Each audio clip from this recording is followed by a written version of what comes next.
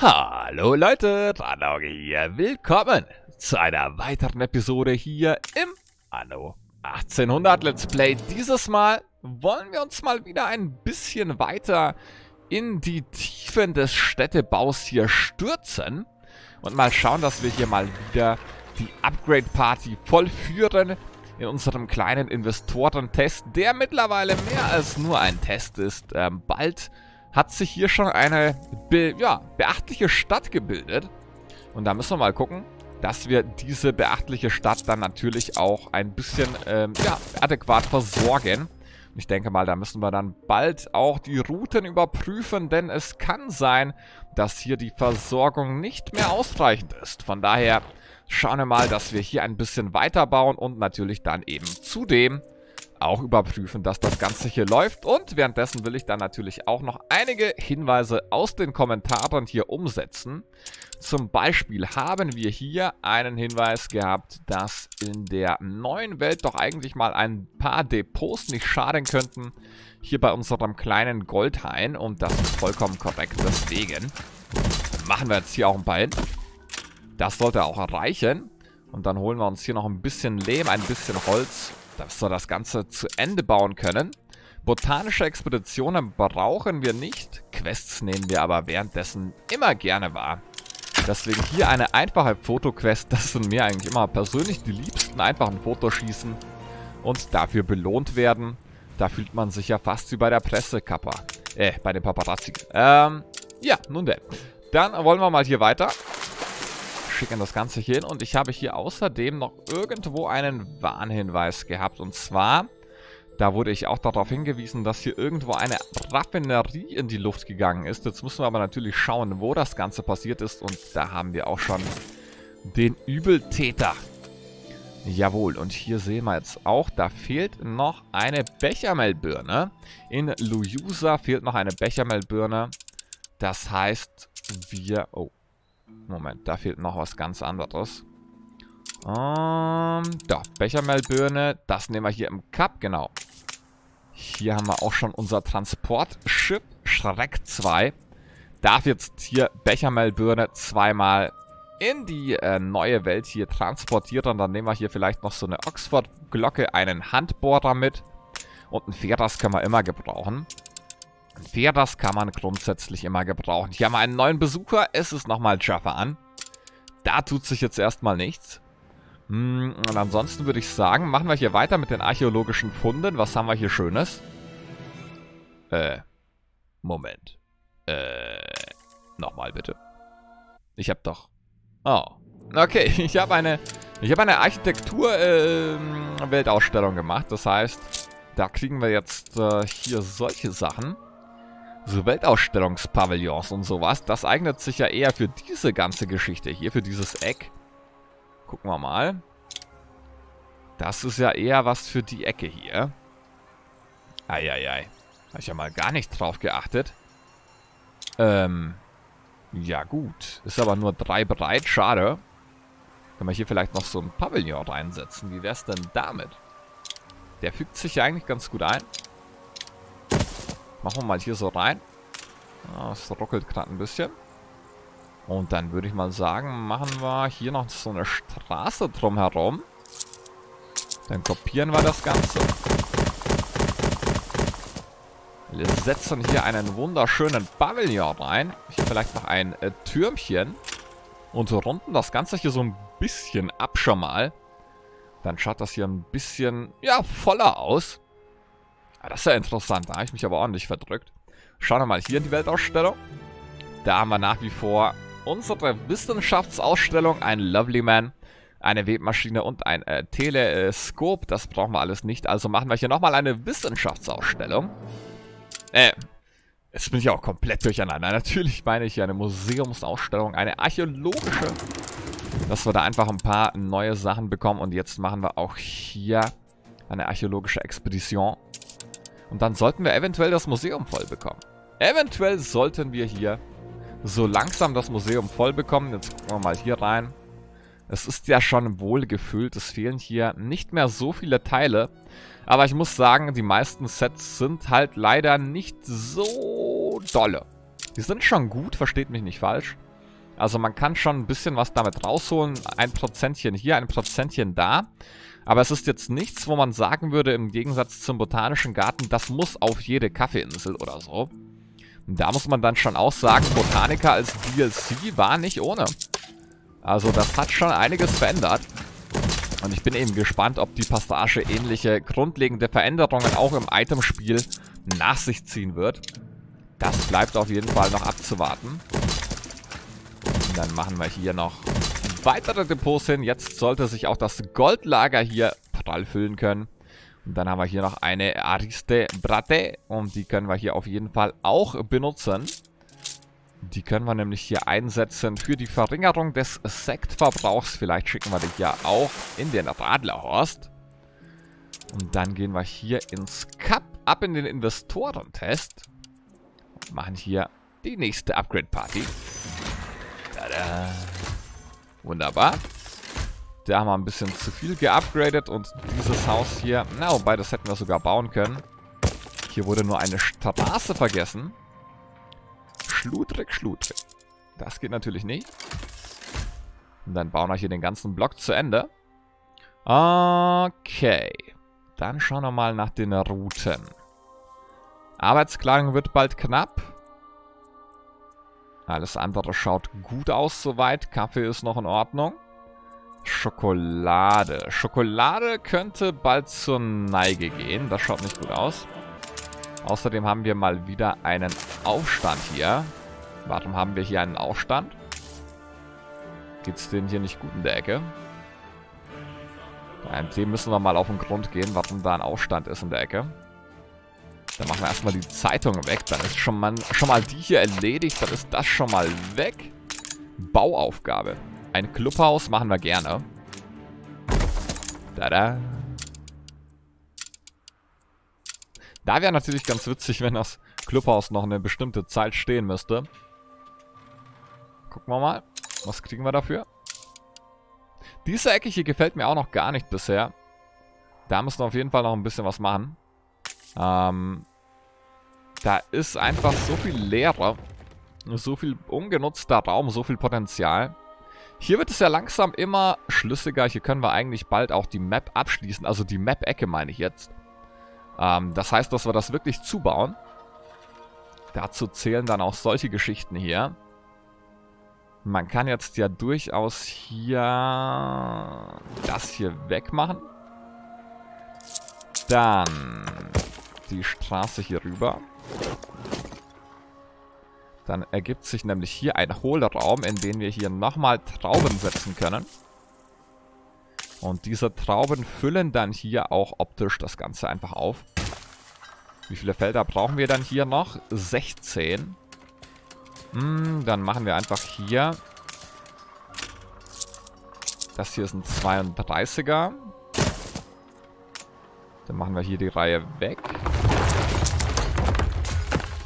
füllen hier auf. Können diese Straße dann eins runterlegen und haben dann hier trotz alledem wunderbar einen Abschluss, einen gebührenden Abschluss dieser Ecke hier unten. Diese Straße hier legen wir eins hoch. Dann können wir hier unten die Feuerwehr umlegen. Oder vielleicht sogar... Na, da fehlt irgendwas. Was fehlt hier? Was sehe ich hier nicht? Ach, da oben, das, da oben fehlt schon das Feld. Okay. Dann machen wir das vielleicht ganz anders. Hm. Das hier weg. Das hier wird gedreht. Die ganze Straße hier an der Seite können wir eigentlich auch weglassen. Das geht nämlich alles hier rüber. Diese Straße darf ich nicht wegmachen. Das hier ist die Hauptader von hier oben, die das Ganze mit dem Kontor verbindet. Das läuft hier rüber. Läuft hier unten an, verbindet dann hier nach außen das Ganze. Dann kann ich eigentlich hier schon wieder einen Weinberg bauen. Wunderbar. So rum. So rum. Das machen wir hier alles zu. Sehr schön. Hier wird auch alles abgeschlossen. Dann machen wir das hier runter. Diese Straßen hier erübrigen sich auch. So rum. Dann machen wir das hier einfach alles zu. Sehr schön. Hm, okay, das hier gefällt mir hier auch noch nicht so wirklich. Da sind sehr, sehr viele Feuerwehren. Das ist zwar schön. Aber das könnte noch ein bisschen cleaner werden. Hm. Das passt, das passt. Ich würde hier gerne noch irgendwie einen Weinberg mit reinkriegen. Hier ist halt auch noch so eine Leerstelle. Wie wäre es denn, wenn wir die Straßenverbindung hier oben machen? Dann kann ich mir nämlich das Ganze hier sparen. Und das hier auch. Und dann kann ich mir hier eine Verbindung leisten. Eine einzige. Da müsste ich eigentlich nur noch schauen, wie viel Platz ich hier genau habe. Oder wie viel ich da oben vor allem noch brauche für die 128. Ah, okay, das wird ein bisschen viel. Schade. Hätte ich eigentlich schon gerne durchgebaut da. Und wir bekommen noch eine 3-Sterne archäologische. Na, hör mal.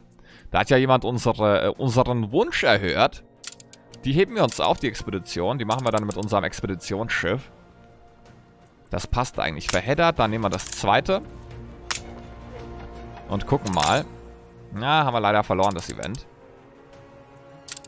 Hm, dann machen wir doch vielleicht den Straßenabschluss so, dass ich wenigstens da oben...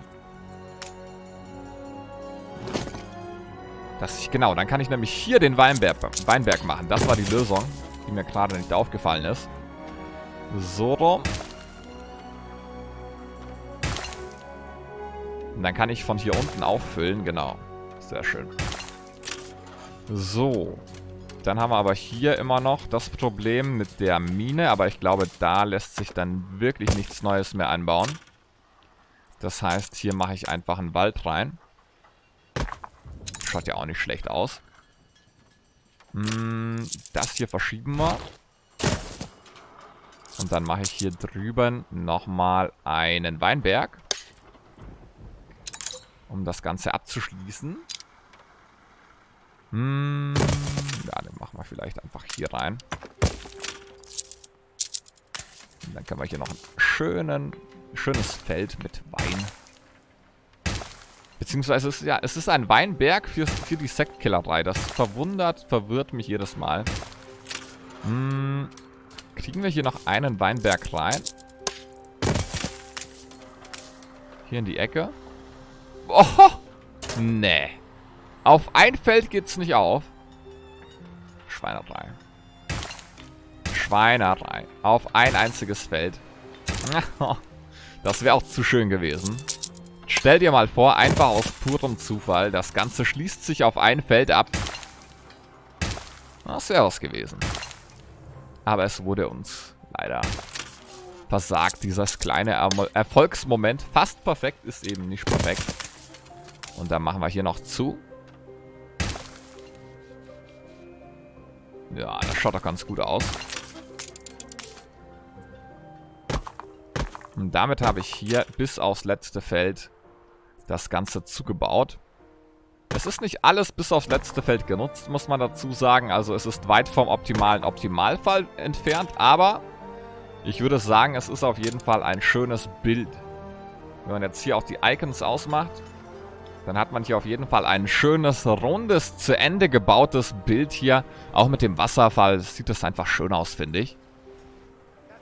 Und dann hat man hier einfach so einen schönen Ausblick hier in die Weiten der mit Feldern übersäten und mit Bäumen abgeschlossenen Inselecke hier. Das passt. Und bevor wir jetzt ewig weiter sammeln, kommen wir hier runter. Und können das nächste den nächsten Schritt sozusagen in der Upgrade-Party hier gehen. Gucken wir mal noch ein bisschen genauer rein, ob da irgendwas noch fehlt. Nein, alles wunderbar. Dann schließen wir das hier ab. Und haben die 250.000 geknackt. Das ist auch schon wieder so eine schöne neue Grenze. 250.000 ist auf jeden Fall eine Ansage. Also ich weiß zwar nicht an wen, aber äh, ist einfach eine. Die Viertelmillion sozusagen. Also es geht voran. Und hier machen wir jetzt die Bechermelbirne rein. Und dann ist auch hier das Ganze schön abgeschlossen. Eine runde Ölforderung auf jeden Fall. Förderung, eine Ölförderung. Pardon. Hier haben wir noch ganz, ganz viele Ölquellen offen.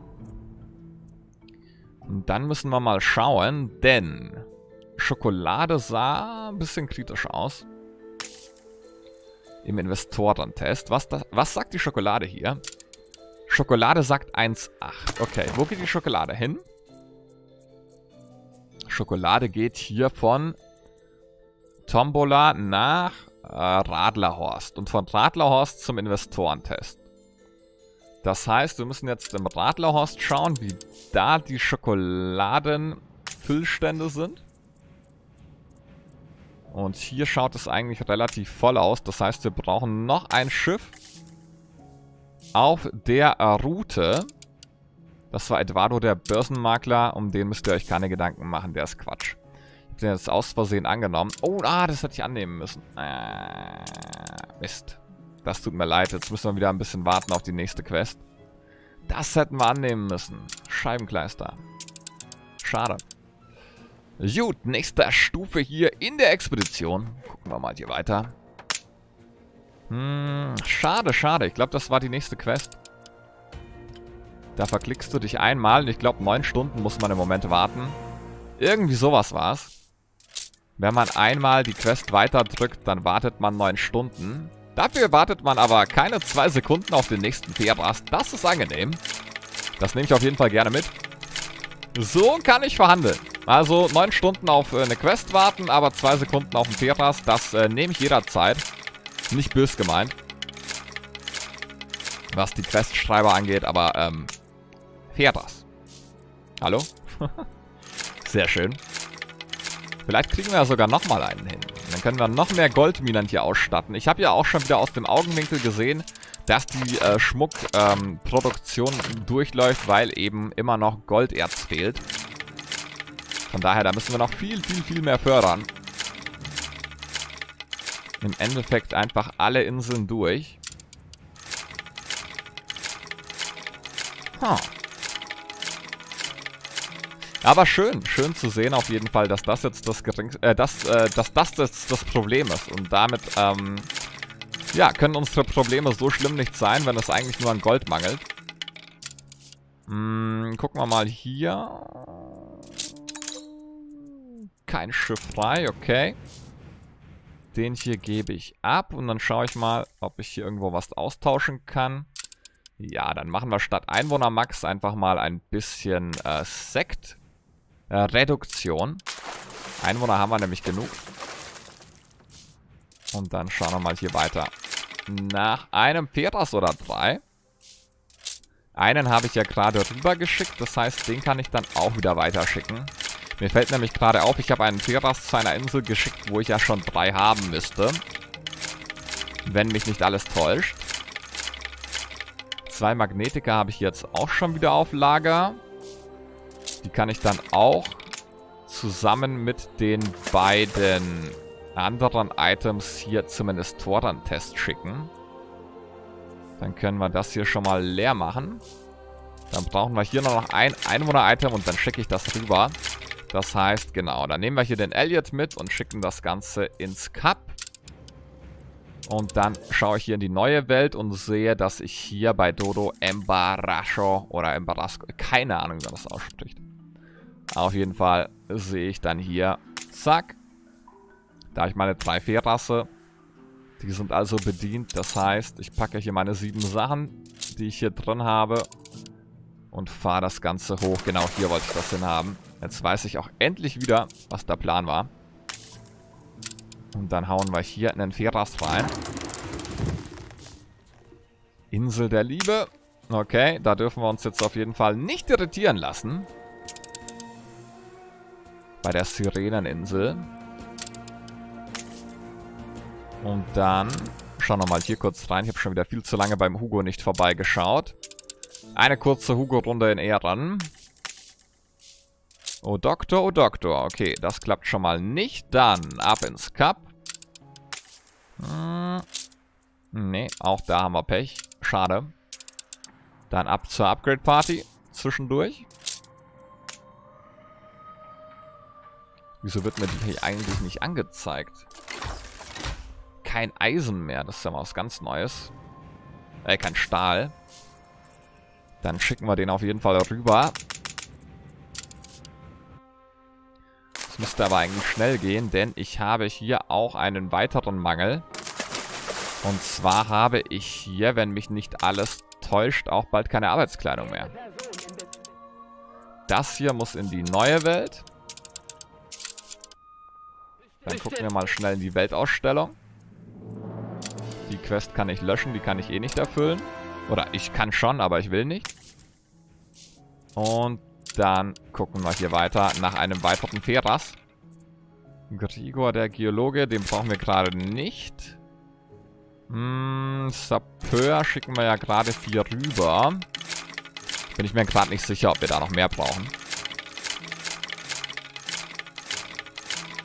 Schauen wir mal. Nein, da war ein Magnetiker. Nein, ich hasse meinen Klickfinger. Warum klickt der so schnell? Ich bemühe mich ja schon. Ich bemühe mich doch schon. Aber ich klicke einfach immer wieder die guten Items weg. Hat jemand eine Strichliste zufällig? Führt jemand Strichliste, wie viele Fährrasse und wie viele Magnetiker wir hier schon überrollt haben? Das ist doch verrückt. Das ist doch der absolute Wahnsinn. Eieieiei. Gucken wir mal. Explosion in der Glühbirnenfabrik. Ah ja, da macht viel zu wenige Feuerwehren. Viel zu wenige Feuerwehren. Das ist auf jeden Fall eine berechtigte Explosion. Ja, da habe ich auf jeden Fall was vergessen und werde hier zugleich bestraft. Zu Recht. Zu Recht. Da müssen wir dann nachher auch nochmal aufräumen. Das war auf jeden Fall leichtfertig. Ab durch den Berg. Fotoaufgabe. Sehr schön, die zweite schon dieser Episode. Die zweite Fotografieaufnahme nehme ich natürlich dankend entgegen. Nun nochmal ein kurzer Abstecher zu Dr. Mercier, der uns hier leider enttäuscht. Da bietet er mir hier eine Lieferaufgabe, die will ich auch nicht haben. Das Haus von äh, dem Cousin Pablo ist abgebrannt. Äh, dann bauen wir ihm noch ein Haus. Pablo, hier hast du ein Haus. Das lassen wir sogar stehen, glaube ich. Dann Expedition. Der nächste Schritt. Beim letzten Mal hatten wir ja ziemlich Glück mit den Expeditionsbelohnungen. Äh, Dieses Mal leider nicht. Der güldene Kriegshelm ist jetzt nicht das Highlight, das ich mir erhofft hätte. Und hier müsste jetzt noch ein Feras angekommen sein. So ist es. Dann schicken wir aber den Rest hier zurück in die alte Welt zum Einkaufen. Und den hier, den schicken wir auch in die alte Welt zum Einkaufen. Ich habe jetzt hier noch einen Feras. Habe ich noch irgendwo eine Doppelmine? Das schaut doch nach einer Doppelmine aus. Sehr schön. Doppelminen immer sehr gut. Eine Handelskammer, zwei mit einem Streich. Ich meine, gut, mittlerweile sind wir halt auch mit, ähm, mit unserem Einfluss durch. Ich glaube nicht, dass wir da nochmal Probleme bekommen, aber wenn der Einfluss noch nicht in Strömen fließt, dann ist das auf jeden Fall eine gute Sache. Sich erstmal auf die Doppelminen hier zu fokussieren. Und man findet immer wieder solche Spots. Wir haben ja auch in der alten Welt zum Beispiel sogar einen Vierfach-Spot. Die hier halten wir jetzt erstmal noch kurz an, bis der Sapeur da ist. Dann noch eine Polizei dazu. Und der Rest wird mit Feuerwehren aufgefüllt. Denn auch hier können wir ein bisschen was an der Produktivität ändern. Und zwar, indem wir hier am Arbeitsmotivationsregler, so könnte man es fast nennen, drehen. Wie schaut es hier aus mit den Goldvorräten? Schlecht. Da ist alles auf Null. Aber ich habe gerade gesehen, da sind die Trauben voll. Das heißt, wir machen hier eine Route und zwar von Palras nach Capture und liefern hier noch unsere Trauben ab. Auch das war ein Hinweis aus den Kommentaren. Von daher vielen lieben Dank dafür. Und dann liefern wir die hier ab. So. Das füllen wir hier auch.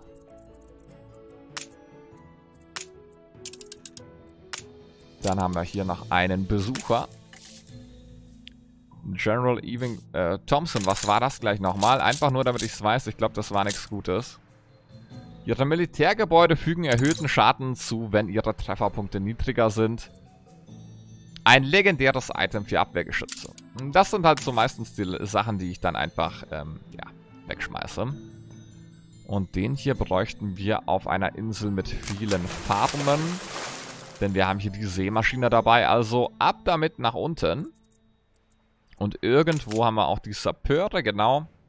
Und die können wir jetzt erstmal, ich glaube, hier brauchen wir die nicht mehr. Das heißt, wir schicken den hier runter. Dann schauen wir noch auf die Goldroute in dieser Insel. Da müssten wir auch schon eine haben. Jawohl, das passt. Also Goldrouten sind etabliert. Goldproduktion wird nach oben gestraubt. Jetzt müssen wir dann eben schauen, dass sich das Ganze einpendelt. Außerdem haben wir hier eine prächtige Wissenschaftsausstellung noch beendet. Genau, hier haben wir auch nochmal das äh, Porthampton Massenmontageband, ein absolutes Top-Item. 60% Produktivität nochmal. Und dann machen wir hier nochmal die Archäologie, wunderbar. Ich glaube, ich habe jetzt dreimal die falsche Weltausstellung genommen. Unfassbar, jetzt ist es endlich die richtige. Meine Güte. Mm, okay. Das heißt, wir haben hier noch ein Montageband auf der hohen Kante. Mm, ich glaube, die Dampfwegen reichen aber komplett bisher für alle drei Inseln. Bei Dampfwegen braucht man aber auch wirklich nicht so viele Gebäude. Die Abdeckung bzw. der Umsatz ist da schon sehr, sehr, sehr gut, die Umlage. Ähm, okay. Ich sehe die Schmieden laufen. Das ist ein gutes Zeichen. Gucken wir mal. Okay, never mind. Gold nach wie vor leer. Aber immerhin sind sehr viele andere Sachen voll. Das freut mich. Zigarren sind leer. Zigarren sind aber in der neuen Welt voll. Das heißt, wir brauchen hier ein Schiff auf der Zigarrenroute. Hier liefern wir noch Stahl ab. Dieses Schiff braucht Items, also ab in die alte Welt. Und irgendwo haben wir noch ein Stahlschiff, theoretisch. Der hier muss noch hierher. In den Investorentest, weil er hier noch wichtige Items im Gepäck hat. Hier kommt noch ein neuer Besucher, den brauchen wir nicht. Steen der wilde Grenzer. Einfach vergessen, dieses Item.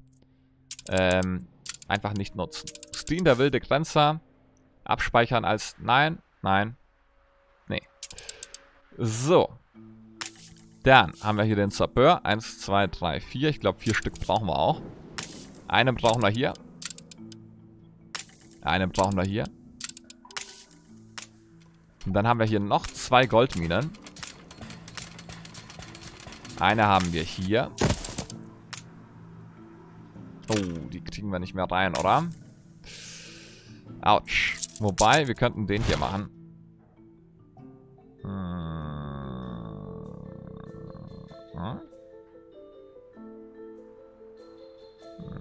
Okay, es wird schwierig. Ja, es wird schwierig. Ich will da nämlich dann noch mal ein paar mehr Baumwollfelder. Das heißt, ich mache den hier einfach alleinstehend. Den machen wir hier alleinstehend fürs Erste. Dann brauchen wir doch nicht alle Sappeure.